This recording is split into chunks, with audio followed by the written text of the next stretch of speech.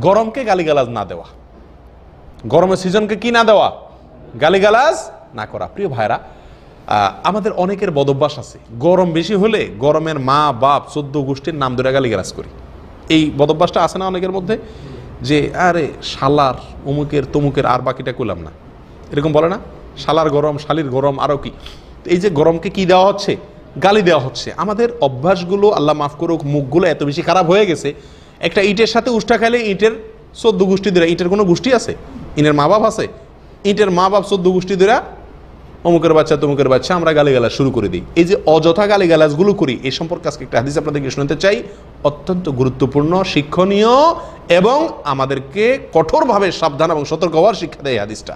সেটি হলো, নবী সাল্লাহ সাল্লাম থেকে আব্দুল ইবনে আব্বাস রাদিয়াল্লাহ বর্ণনা করেছেন সুরানের তিরমিজিতে বিশুদ্ধ সূত্রে বর্ণিত হয়েছে যে নবী সাল্লাহ সাল্লাম ইরশাদ করেছেন ইন্নাহু মান লাআনা শাইআন লাইসা লাহু বিআহলিন রাজাআতিল লানাতু আলাইহি। যদি কেউ এমন কোন বস্তুকে লানত দেয়, গালি দেয়, অভিশাপ দেয়, বদদোয়া দেয়, যেই বস্তু আসলে গালি পড়ার মতো বস্তু না। একটা ইট গরম, গরমের গায়ে তো আর গালি পড়বে না। এরকম অপাত্রে যদি কেউ গালিগালাজ বা অভিশাপ করে অভিশাপ করে, তাহলে সেই অভিশাপ তার উপরেই ফিরে এসে পড়ে। কত বড় জঘন্য কথা। তার অভিশাপ ওই ব্যক্তির উপরেই ফিরে এসে পতিত হয়, প্রিয় ভাইরা এই জন্য গরম যত কষ্ট দেখ, যত কষ্ট হোক, কারেন্ট নাই।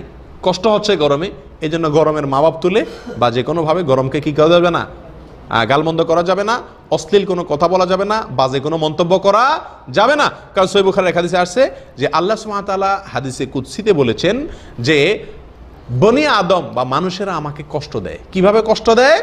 তারা সময়কে গালি দেয়। সময়কে, এই যে সিজন গরম, ঠান্ডা, বিভিন্ন সময়কে তারা কি করে? গালি দেয়। অথচ এই সময় আমার নিয়ন্ত্রণে। আল্লাহ সুমাতালা বলেন, আমি এই সময়কে পরিবর্তন করি, অতএব সময়কে গালি দেওয়া মানেই প্রকারান্তরে আল্লাহকে কি দেওয়া? গালি দেওয়া। আর তাছাড়া নবী সাল্লাহ সাল্লাম বলেছেন, মুমিন কখনো কি হতে পারে না? আল্লাহ, আন, তো আন ফাহেস বাজি হতে পারে না। অর্থাৎ অশ্লীল, বাজে মন্তব্যকারী, ফালতু কথা, নিচু কথাবার্তা, গালমন্দ করা, অভিশাপ করা, এগুলা কোনো মোমেনের কি হতে পারে না, স্বভাব হতে পারে না।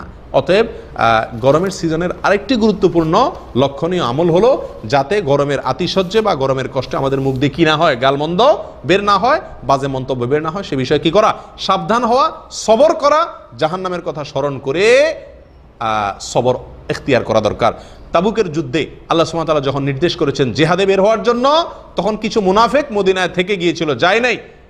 তারা নিজেরা তো থেকে গিয়েছে, অন্যদেরকে বলেছে, লা তানফিরু ফিল হার সুরে তবা আসছে।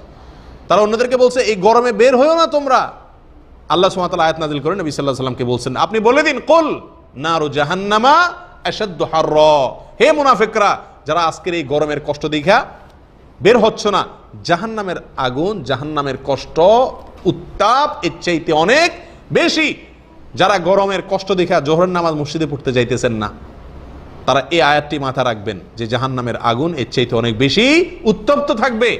অতএব এই দুনিয়ার আগুনকে সবর করতে হবে, হজম করতে হবে, আল্লাহর ইবাদত করার খাতিরে। আল্লাহ তালা তৌফিক দান করেন। প্রিয় ভাইয়েরা